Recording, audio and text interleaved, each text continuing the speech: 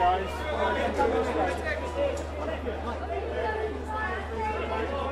going to have you come and stand in front of the edge of the